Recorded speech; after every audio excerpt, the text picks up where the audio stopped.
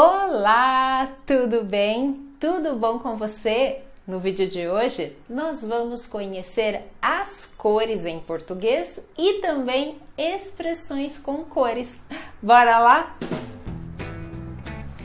Primeiramente, eu vou começar já com os nomes das cores. Lembrando que as cores no português são masculinas. Como assim?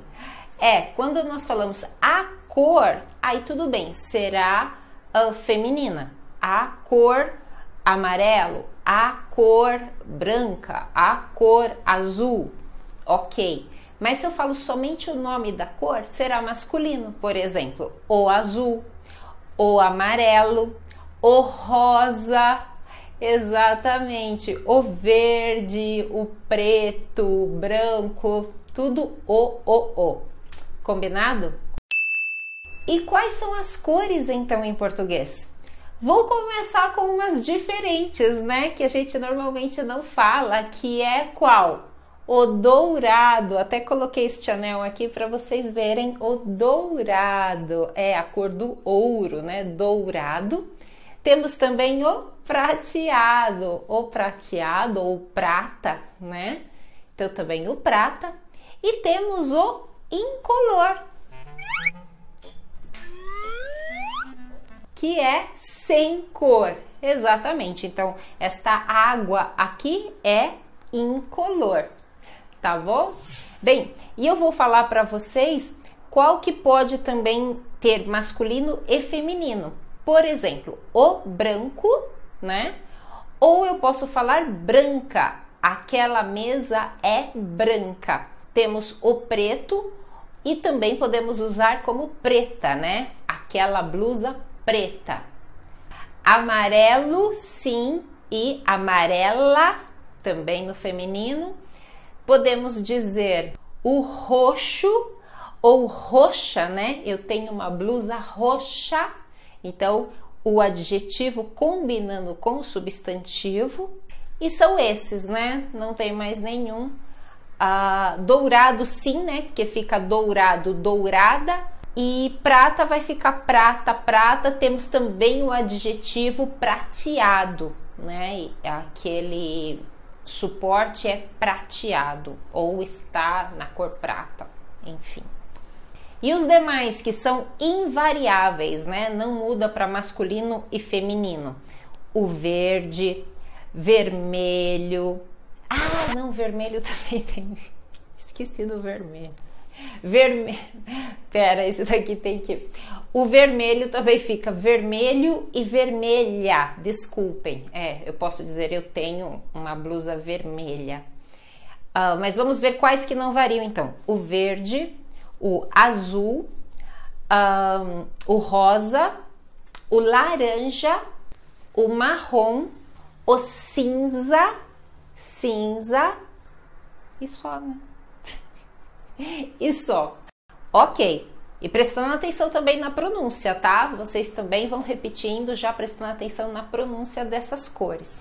E agora nós vamos ver então algumas expressões, expressões com cores, né? Que sempre tem ah, algumas expressões interessantes, né? Que utiliza cores. Vamos lá. Eu vou começar com uma que seria o branco que é dar branco.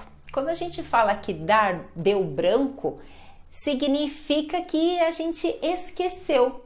Então eu posso dizer: "Ai, naquele teste, a questão número 3 me deu branco, eu não sabia responder. Deu branco na hora". Então, ou seja, esqueci, né? Um esquecimento momentâneo. Quando a gente pergunta, né, ou alguém pergunta alguma coisa para nós, e fala: Qual é o, o nome daquela sua prima mesmo? Nossa, como que é? Deu branco. Esqueci, me deu branco. Ou seja, nesse momento aqui eu não me lembro, esqueci totalmente. Nós temos também o passar em branco, que pode ser também uh, traduzido como um esquecimento. Por exemplo, eu falo assim: Nossa, ontem foi aniversário do meu irmão e passou em branco. Ninguém lembrou de dar os parabéns para ele, passou em branco. ou seja, né, todo mundo esqueceu. Ou pode ser no, no sentido de não comemorar, né? Então eu pergunto, como que foi o seu último aniversário, né? Vocês comemoraram, fizeram alguma coisa? Não, e passou em branco. Passou em branco, não fizemos nada. Ou seja, não teve comemoração, não teve nada especial, passou em branco. Ou também, né, você está fazendo uma prova ou alguma coisa, né, um, um documento, algo, né, que seu chefe pediu para fazer e teve uma coisa que você não viu e não fez, né? Aí fala, ué, você não fez essa parte aqui que eu pedi do relatório? Nossa, passou em branco, eu não vi. Ou seja, você realmente nem percebeu. Ou até esqueceu, viu, mas esqueceu, né? Depois de fazer, então esqueceu, ou simplesmente não viu, então passou em branco. E finalmente nós temos o ter carta branca, né? Que daí ter carta branca significa ter liberdade para fazer alguma coisa, fazer o que quiser. Então, digamos assim, você está num restaurante, né, e vê um rapaz dançando no meio do restaurante, cantando alto, alguma coisa assim. Aí você fala para o seu amigo, ué, quem é aquele cara, né? O que, que ele está fazendo ali dançando? Aí fala, ah, aquele lá tem carta branca, ele é filho do dono, ele pode fazer o que ele quiser, ele tem carta branca. Ou seja, né, tem toda a liberdade para fazer o que quiser. Então, toda situação que alguém né, pode fazer, você, por exemplo, não sei, conhece o dono de algum lugar, então chega lá, você tem liberdade para fazer o que quiser, então você fala: Não, lá eu tenho carta branca, fica tranquilo que eu tenho a carta branca. E agora nós vamos então para o verde, né? Para começar com a expressão de jogar um verde, que significa o quê? Você falar alguma coisa com a intenção de ter uma informação ou de ter a confirmação de algo que você já imaginava, alguma coisa que você já imaginava. Por exemplo, ele disse tudo para ela? Não acredito. Sim, ele disse. Ela jogou um verde e ele disse tudo. Você contou para os seus pais que você vai para o Brasil e aí? Ah, eles já estavam desconfiados e aí jogaram um verde e eu falei. Então é isso mesmo, né? A pessoa falar alguma coisa já com a intenção de buscar aquela informação, já de buscar a confirmação de algo que eles estão imaginando. E aí nós temos o ficar verde de raiva. Algumas pessoas falam ficar roxo de raiva e outros falam ficar vermelho de raiva. Acho que a raiva não tem cor, né? Então uh, cada um vai usar a cor que quer para falar estar com raiva, né? Eu mesmo eu falo que eu fiquei verde de raiva, mas eu já vi pessoas que dizem que usam, né, o roxo ou o vermelho. E aí o sentido é esse mesmo, né? De estar com muita raiva. E aí nós temos com a cor preta, né? Nós temos o preto no branco, que a gente fala assim: "Ah, eu quero tudo preto no branco", né? quando você está fazendo um acordo, um documento, um contrato, então você fala assim: não, eu quero tudo preto no branco para não ter nenhum problema depois. Ou seja, deixar tudo bem esclarecido e normalmente isso requer uma assinatura ou um documento. Então eu pergunto, né? Vocês vão se casar, mas casar mesmo? Sim, nós vamos nos casar e vai ser tudo preto no branco. Vamos na igreja, vamos para o cartório, assinar todos os documentos, tudo certinho. Ah, bom. E aí com preto também nós temos a situação preta, né? Que significa uma situação difícil, que não está nada boa. Então eu posso dizer, por exemplo, a situação ficou preta depois da pandemia. Muitas lojas fecharam, o comércio não se recuperou, a situação ficou preta, né? Então, ou seja, não ficou nada boa. Como que tá as coisas aí no seu país? Ah, a coisa tá preta aqui, a coisa tá preta, ou seja, tá feio, tá muito complicado, difícil. Mas esta é uma das expressões, na verdade, com preto que tem uma relação, segundo a história, com os afrodescendentes. Então, assim, uh, tem se evitado o uso dessas expressões. Eu só estou explicando porque eu sei que vocês assistem muitas novelas antigas do país, leem muita literatura clássica também brasileira, né? E vocês podem estar então encontrando essas expressões e aí vocês vão poder entender. Tem até uma música clássica, né, que é do Chico Buarque de Holanda, escrevendo para o seu amigo na época da ditadura. E ele fala: Meu amigo, eu tenho que dizer que a coisa aqui tá preta. Então, ou seja, que a coisa estava difícil mesmo, tá? Então, fazia parte realmente da nossa cultura esse tipo de expressão. Bem, então nós temos o laranja. O que que o laranja tem a ver, né? Quando falam assim, ah, aquele lá é um laranja, eu vi na internet esses dias também estava assim. Entenda quem são os candidatos laranjas.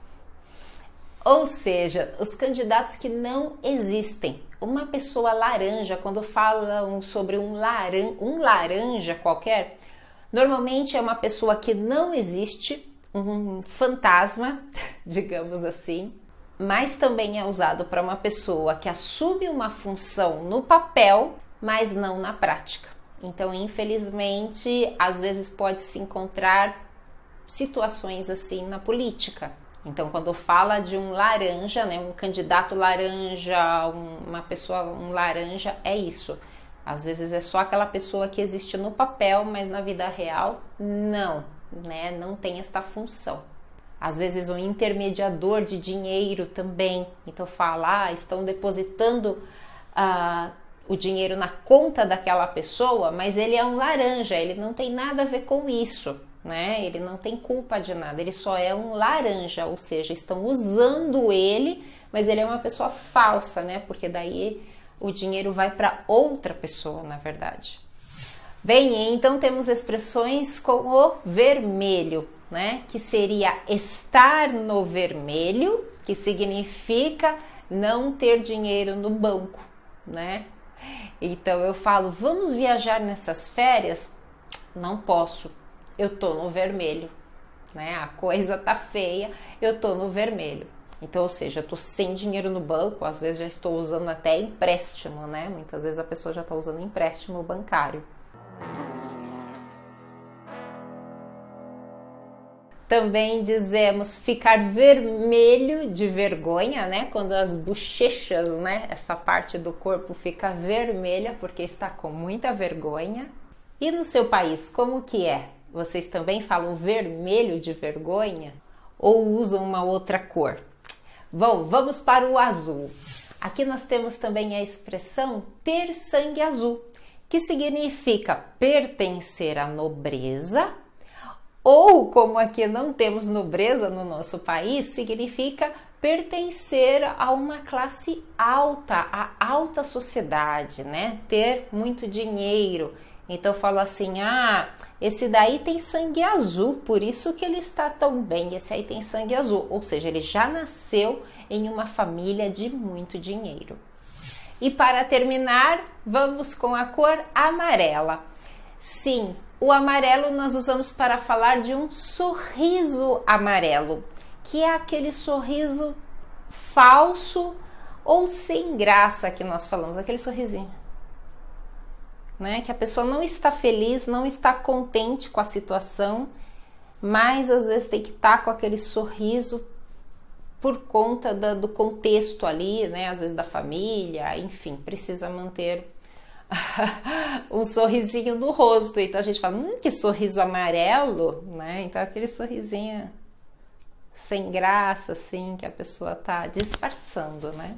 Por dentro tá sentindo uma outra coisa. E também com amarelo nós temos o amarelar. Significa o quê? Bom, amarelar, claro que pode ser uh, a mudança né, da cor do branco para o amarelo de algo que vai ficando mais antigo, mais velho, como a cor de um livro, né? Então eu falo, nossa, meu livro está todo amarelado, né? Porque mudou a cor. Pode ser uma blusa branca, né? Uma roupa branca que também está muito velha e ficou meio amarela, então nós falamos que ficou amarelada. Mas no sentido não literal, né?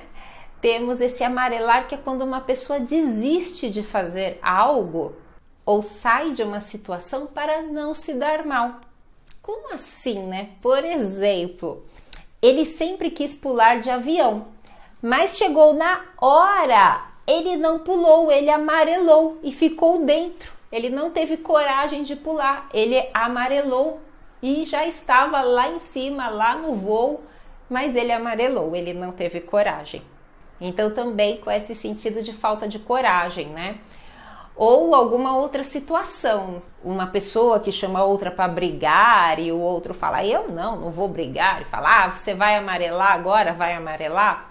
Ou um também que chama às vezes para sair, para jogar a bola, o outro não quer, e aí fala assim: ah, é, você vai amarelar? Não, não tô afim. Ou seja, né? Então é aquela pessoa que não está com disposição, vê que não vai ser um bom programa e aí ele sai fora, né? Ele não participa e o outro fala: "Ah, ele amarelou, está amarelando". Tá bom? Você tem também essas expressões no seu idioma? Tem? Eu quero saber aqui nos comentários. Eu quero saber que expressões que você tem que são iguais ou como são, né, na sua língua, uh, essas expressões e outras, né? Aqui também Uh, acho que tem mais algumas, mas eu procurei colocar as principais, as mais conhecidas para vocês. Tá bom? Espero que vocês tenham gostado. Se vocês ainda não se inscreveram aqui no canal, inscreva-se, participe nos comentários e eu vejo você no próximo vídeo. Um super beijo e até lá. Tchau, tchau.